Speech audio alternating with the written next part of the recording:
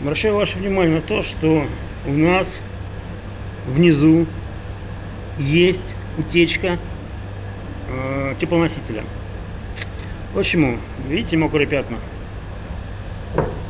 То есть где-то он течет у вас.